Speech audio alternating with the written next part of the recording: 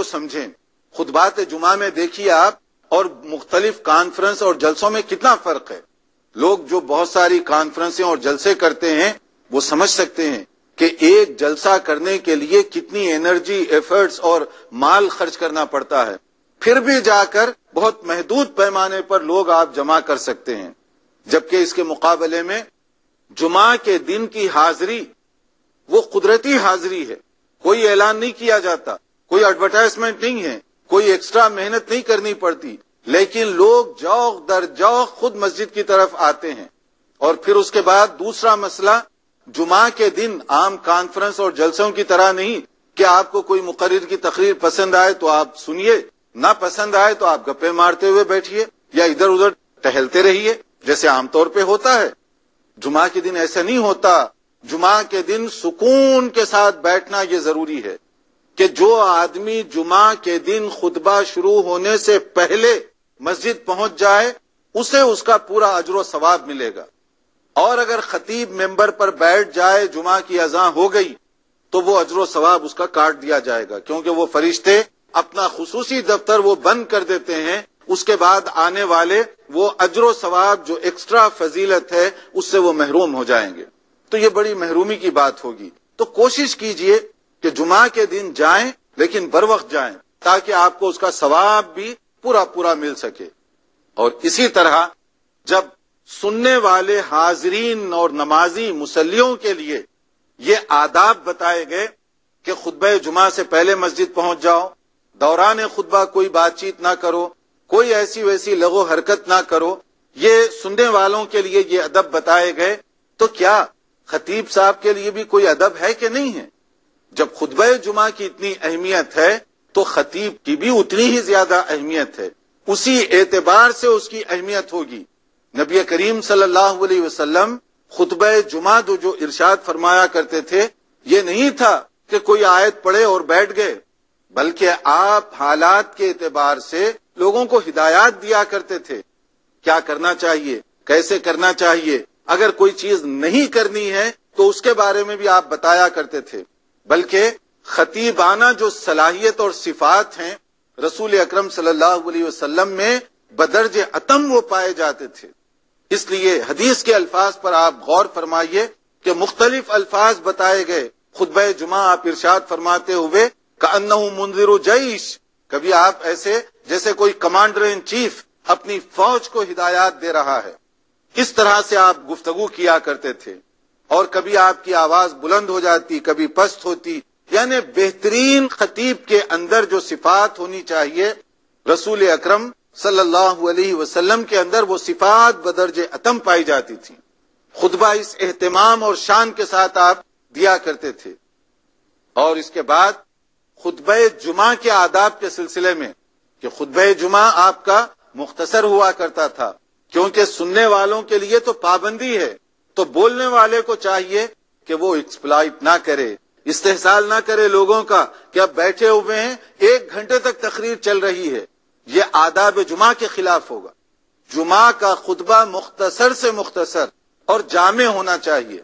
لوگ بیٹھیں توجہ کے ساتھ، سنیں توجہ کے ساتھ اور ان کی توجہ ادھر ادھر ہوئے بغیر خطبہ جمعہ ختم ہو جائے۔ تاکہ ٹو دی پوائنٹ جو بات آپ کو کرنی ہے وہ آپ کر دیں، لوگ اطمینان سے جمعہ کی نماز پڑھ کر فارغ ہو جائیں۔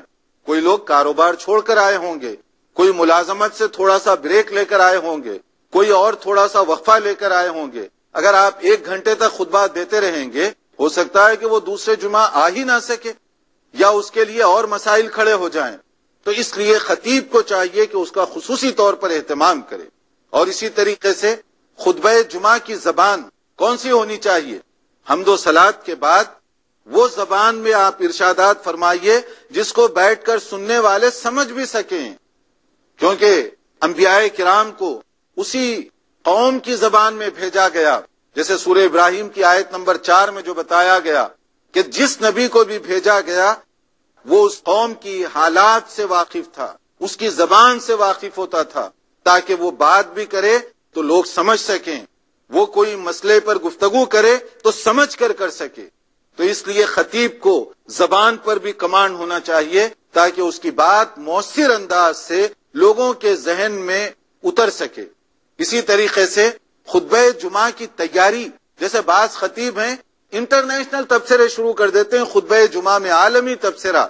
عالمی تبصرہ نہیں میرے بھائی، کم سے کم آپ یہ سوچئے کہ سامنے جو بیٹھے ہوئے ہیں، ان کو میسج آپ کیا دے رہے ہیں؟ ان کو پیغام کیا دے رہے ہیں؟ اس خطبے کے بعد جب وہ نماز سے فارغ ہوں گے، کیا ذہن لے کر جائیں گے؟ اس چیز کو سامنے رکھ کر آپ ان کو پیغام دیجیے تاکہ نماز ختم ہو گئی۔ ان کے ذہن میں ایک یا دو یا چار باتیں جو بھی آپ بٹھانا چاہتے ہیں، وہ باتیں عملی زندگی سے تعلق رکھنے والی ہوں تو وہ باتیں ان کو بتا دیجیے۔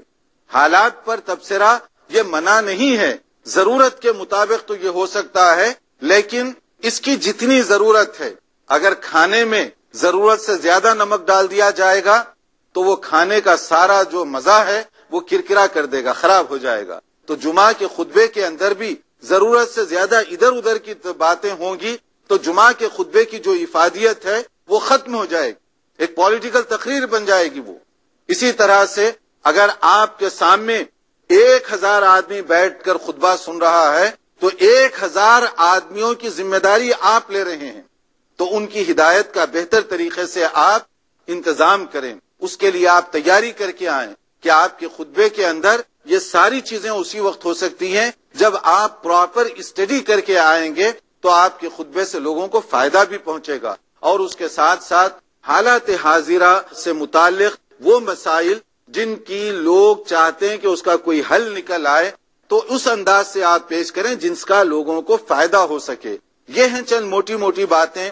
اس کا ہمیں خیال رکھنا چاہیے۔ جمعہ کے آداب کا تمام کو خیال رکھنا چاہیے۔ اس کے لیے اہتمام کرنا چاہیے۔ جمعہ میں کثرت کے ساتھ عبادت اور دعا کرتے رہنا چاہیے۔ جمعہ کے خطبے کو بر وقت جا کر سنیں اور بر وقت نماز کی ادائیگی کی فکر کریں۔ ورنہ اس سلسلے میں جو وعید آئی ہے، اس کو بھی ہم اپنے ذہن میں رکھیں۔ اللہ تعالیٰ سمجھنے اور عمل کرنے کی توفیق عطا فرمائے۔ واخر دعوانا ان الحمد للہ رب العالمین۔